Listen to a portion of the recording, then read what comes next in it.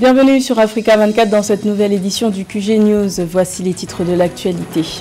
Sommet tripartite à Luanda sur le processus de paix en Centrafrique. Les chefs d'État de l'Angola et du Tchad affirment leur soutien aux autorités centrafricaines pour une sortie de crise rapide après des années de conflits qui ont affecté plus de 2,4 millions de personnes. État de catastrophe nationale décrété en Afrique du Sud, une décision prise le 9 février par le président Cyril Ramaphosa pour faire face à la crise énergétique sans précédent qui touche la première puissance industrielle du continent. Et le Real Madrid est sur le toit du monde après sa victoire à la Coupe du monde des clubs de la FIFA le 11 février au Maroc en venant à bout du club saoudien d'Al Hilal. Le club espagnol est parvenu à remporter cette compétition pour la cinquième fois. Mais tout d'abord au Tchad, 150 éléments du FACT, principal mouvement rebelle du pays, euh, sont jugés depuis ce lundi 13 février dans les locaux de la maison d'arrêt de Klessoum. Ces membres du Front pour l'alternance et la concorde au Tchad sont accusés d'être impliqués dans la mort du président Idriss Déby Itno le 20 avril 2021. Ils sont également poursuivis pour terrorisme, enrôlement d'enfants, mercenariat et atteinte à la sûreté de l'État.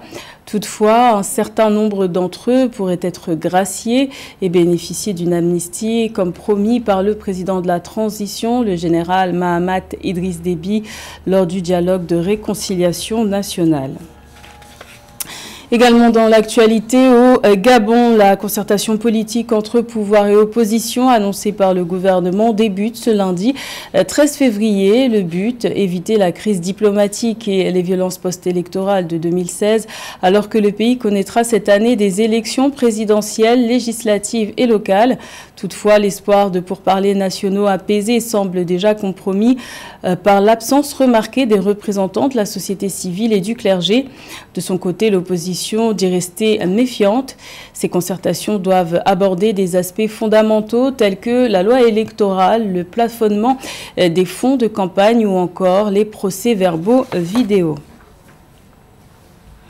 Apporter une réponse solidaire au nom du devoir humanitaire, c'était l'objectif du sommet tripartite qui s'est tenu le 9 février à Luanda. L'Angola, plaque tournante des consultations en matière de paix et de sécurité en Afrique, et le Tchad, voisin de la Centrafrique, ont affirmé leur soutien aux autorités centrafricaines dans la mise en place du processus de paix. Le point avec Joël Ballot.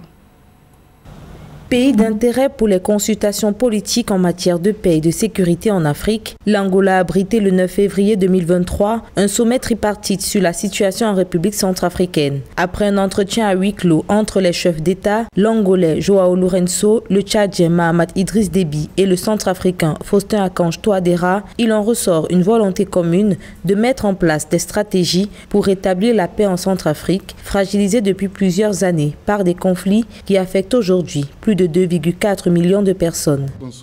Les consultations ont eu lieu dans un contexte tout à fait fraternel et les trois chefs d'État, après de longs échanges, ont décidé de continuer cette fraternité et de multiplier les efforts en faveur de la paix en Centrafrique.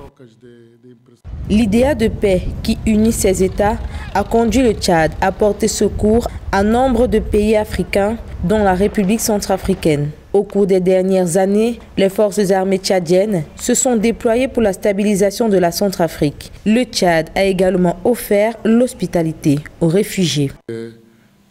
Lorsqu'il s'agit d'une situation précise dans l'un des pays frères qui, dans ce cas particulier, était la République centrafricaine, l'Angola qui joue un rôle majeur dans le processus de paix en Afrique, n'hésite pas à apporter son appui. Organisé à la demande du président angolais Joao Lourenço, champion de la paix et de la réconciliation en Afrique, le sommet tripartite a été aussi le lieu pour le président Mahamat Idriss Déby de faire le point sur le processus de transition au Tchad. Il a souligné sa volonté de voir les pays membres de la communauté économique des États de l'Afrique centrale maintenir l'élan de solidarité à l'endroit du Tchad afin de faire de sa deuxième phase de la transition une réussite. Le président sud-africain Cyril Ramaphosa a déclaré le 9 février l'état de catastrophe nationale pour euh, tenter d'endiguer la profonde crise énergétique qui affecte la première puissance industrielle du continent. 2022 a été l'une des pires années en termes de délestage pour le pays. Les explications de Mildred Diamou. Pour la troisième fois en trois ans, l'Afrique du Sud est en état de catastrophe nationale. Après la pandémie de Covid-19 et les inondations meurtrières d'avril 2022, le pays est confronté à une crise énergétique sans précédent. L'état de catastrophe a été déclaré par le président Cyril Ramaphosa le 9 février 2023 lors de son discours annuel sur l'état de la nation. Le chef d'État a également annoncé la nomination d'un ministre de l'électricité pour mieux répondre à cette crise.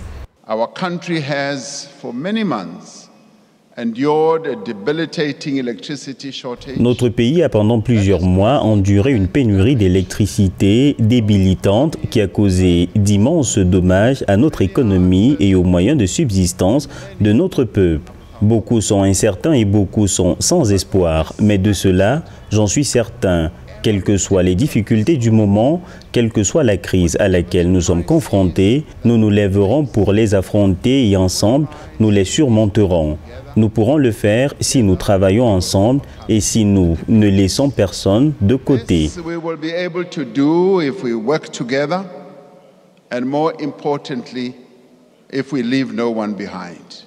Les Sud-Africains, déjà confrontés à un taux de chômage élevé et à l'augmentation du coût de la vie depuis plusieurs mois, passent entre 6 et 10 heures par jour sans électricité. D'après le ministère sud-africain de l'énergie, les pertes entraînées par les délestages sont estimées à près d'un milliard de rand par jour, soit environ 50 millions d'euros. Cette mesure d'urgence devrait permettre d'accélérer des projets de fourniture d'énergie et de libérer des ressources supplémentaires pour lutter contre la crise, selon le président Ramaphosa. Reliable supply of electricity, efforts sans un approvisionnement fiable en électricité, nos efforts pour développer une économie inclusive qui crée des emplois et réduit la pauvreté ne réussiront pas. Par conséquent, alors que nous décrivons notre agenda de développement pour l'année à venir, notre principale priorité et plus grand défi est de réduire considérablement la gravité des délestages dans les mois à venir et de mettre fin au délestage de façon durable.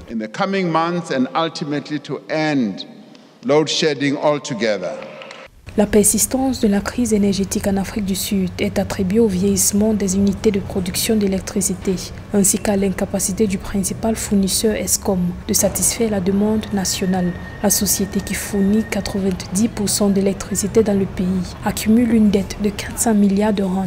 Les délestages qui touchent tous les secteurs du pays anéantissent les efforts du gouvernement pour redresser l'économie alors que le taux de chômage frôle les 33%.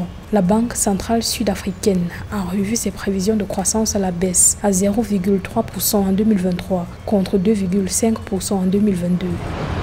Dans le reste de l'actualité, l'Afrique sera la seule région au monde où la production de gaz naturel devrait plus que doubler d'ici 2050, selon un rapport publié le 29 janvier dernier par le Forum des pays exportateurs de gaz. Sa production mondiale de gaz naturel devrait atteindre plus de 11% en 2050 euh, pour se situer à 585 milliards de mètres cubes contre 6% en 2021, un bond de 125% qui correspond à une croissance moyenne de 2,8% par an. L'essentiel de la production de gaz du continent sera consommé localement en raison d'une forte demande tirée par l'accélération de la croissance économique et l'urbanisation galopante.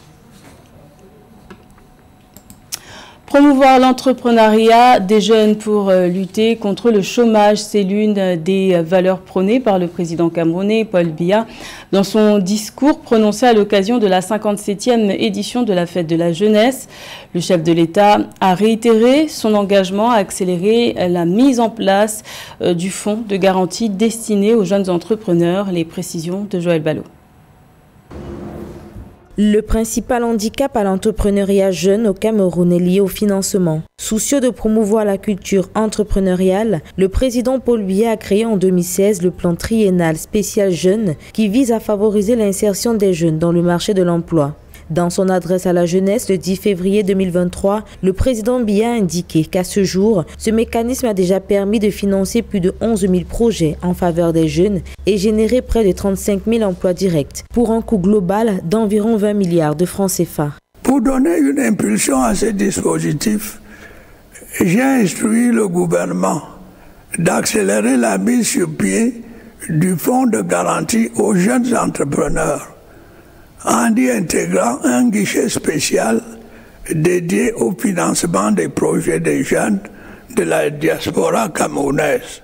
Selon l'Institut national de la statistique du Cameroun, au moins trois quarts des jeunes se connectent chaque jour à Internet. Les plateformes numériques étant devenues l'apanage de tous, le chef de l'État invite les jeunes à l'auto-emploi à travers la construction d'une nouvelle figure entrepreneuriale à l'ère de l'économie numérique. Je vous demande une fois de plus de vous tourner également vers l'auto-emploi en saisissant les opportunités qui s'offrent à vous dans les domaines tels que l'agriculture, l'artisanat ou l'économie numérique.